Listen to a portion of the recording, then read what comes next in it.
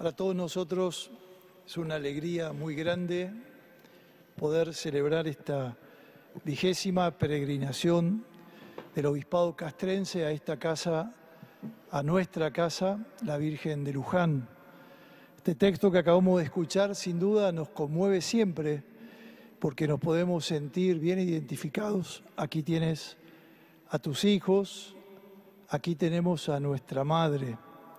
Damos gracias por eso y nos reúne hoy en esta peregrinación que hemos adelantado, hablando con las autoridades de las fuerzas. Lo teníamos más cerca del 19 de octubre y era cerca de las elecciones nacionales. Vimos conveniente adelantarla y coincidió con una de nuestras fiestas diocesanas también, como es hoy la Virgen Inmaculada Concepción de Nuestra Señora del Buen Viaje, patrona de esta querida fuerza nuestra nueva, como parte de nuestra familia castrense, como es la Policía de Seguridad Aeroportuaria.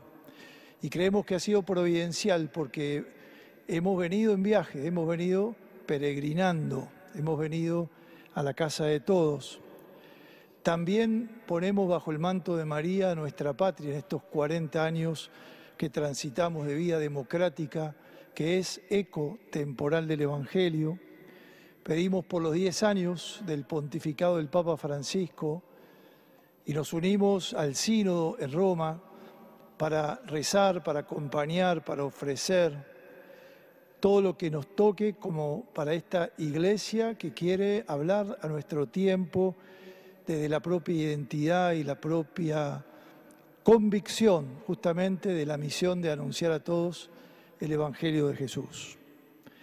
También sería injusto si no rezamos por aquellos que han muerto en el copamiento del regimiento de infantería de Monte 29 allí en Formosa.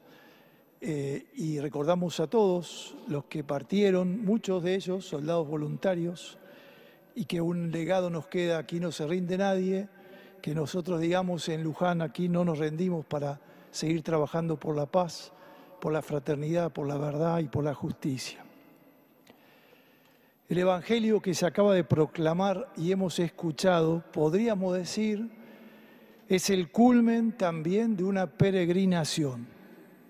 Jesús, para cumplir su hora, llega después de un peregrinar con su cruz al lugar donde todo se cumplirá.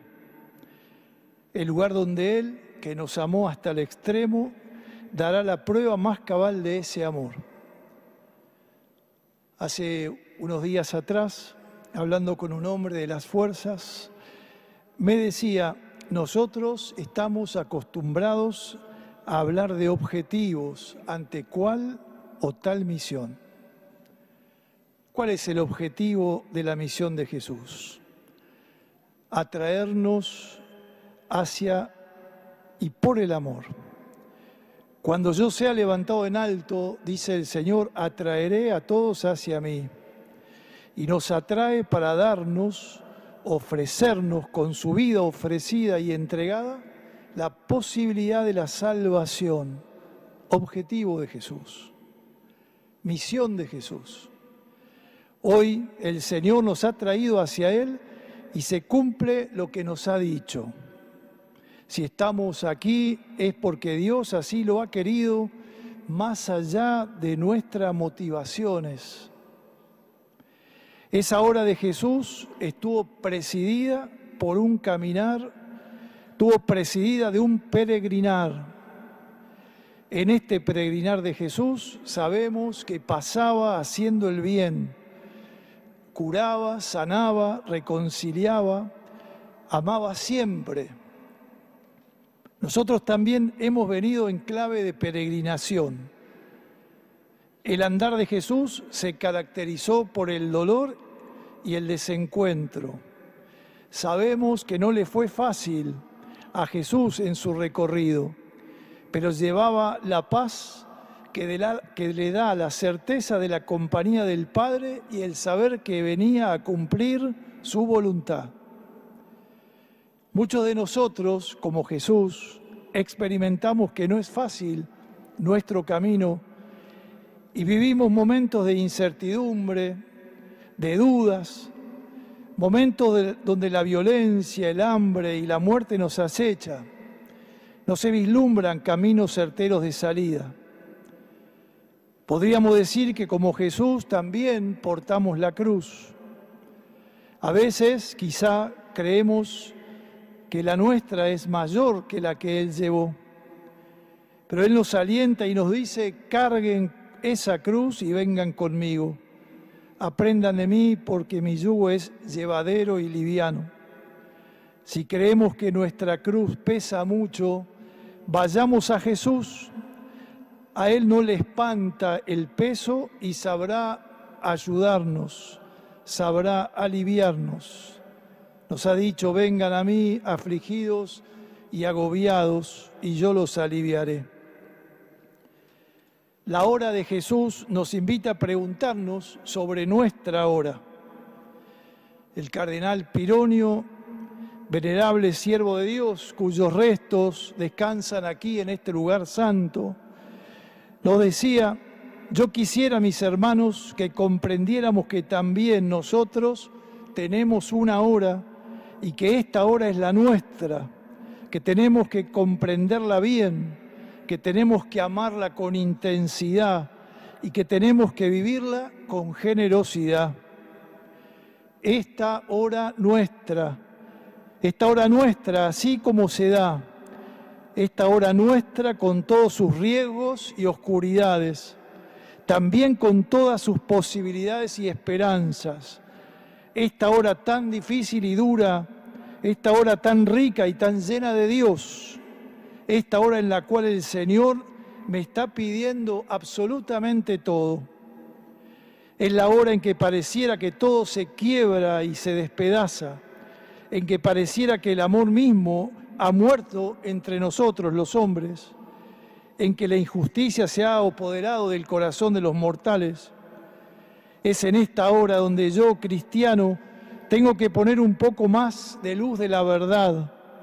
Esta hora en la cual yo tengo que plantar la justicia y ser realmente hacedor de la paz en la justicia. Es la hora en que yo tengo que comprometerme, muriendo todos los días un poco y amar de veras a mis hermanos. Palabras del querido Cardenal Pironio. Jesús camina su recorrido acompañando y ayudado por Simón de Sirene, que lo conocemos como el Sirineo. No va solo Jesús, se dejó ayudar. Pasó Jesús como uno de tantos, asumió nuestra frágil naturaleza, enferma y herida, pero para rescatarla y sanarla. Aquí también vamos juntos, el Señor nos ha convocado como iglesia, como familia, específicamente como familia castrense. Esta es la vigésima peregrinación de las Fuerzas Armadas y Federales de Seguridad. Y volvemos a traer la gratuidad y la alegría, también la soledad y la enfermedad, como el dolor de tantos que esperan justicia en nuestra patria el caminar juntos hacia los santuarios, es en sí mismo un gesto evangelizador por el cual el pueblo cristiano se evangeliza a sí mismo y cumple su vocación misionera de la iglesia. Como en la vida, es más llevadero el camino compartido con la oración común, con la cercanía que anima y restaura. Nuestro peregrinar, como en Jesús, tiene un final. Aquí hemos llegado a la Basílica de Luján, nuestra Madre de Luján, patrona de nuestra patria, patrona de nuestro obispado castrense. La Madre de Luján, llegar aquí debe ser un signo que nos avive el deseo de caminar y peregrinar hacia el cielo. Esta es una ciudad de paso, somos en verdad ciudadanos del cielo. En el Evangelio de Juan hemos escuchado que había presencia de muchas mujeres, pero Jesús destaca la presencia de su madre. Nosotros hemos venido a la casa de la madre. En este texto evangélico está el origen de la maternidad. Le decimos Madre a María por esta escena del Evangelio. Es el testamento perenne de lo que Jesús nos quiso dar. Otro don de tantos de su amor. Decimos en nuestra oración diocesana que María es el testamento más preciado que nos dejó su Hijo en la cruz. Nuestro pueblo ama a María. Nuestros fieles castrenses, me consta, aman a María en sus diversas advocaciones. Nuestra Señora de Luján, Nuestra Señora de la Merced, Nuestra Señora de Estela Maris, Nuestra Señora de Loreto y Nuestra Señora del Buen Viaje. Podemos compartir las palabras de Aparecida, la mirada del peregrino, aquí nosotros peregrinos, nuestra mirada se deposita sobre una imagen, imagen que simboliza la ternura y la cercanía de Dios. El amor se detiene, contempla el misterio y lo disfruta en silencio. También se conmueve derramando toda la carga de su dolor y de sus sueños. La súplica sincera que fluye confiadamente es la mejor expresión de un corazón que ha renunciado a la autosuficiencia, reconociendo que solo nada podemos. Un breve instante condensa una experiencia vital. El amor se detiene y contempla el misterio de María que simboliza la ternura y la cercanía de Dios. María, en esta su casa, nuestra casa, nos suscita confianza de hijos para depositarle todo lo que trae nuestro corazón.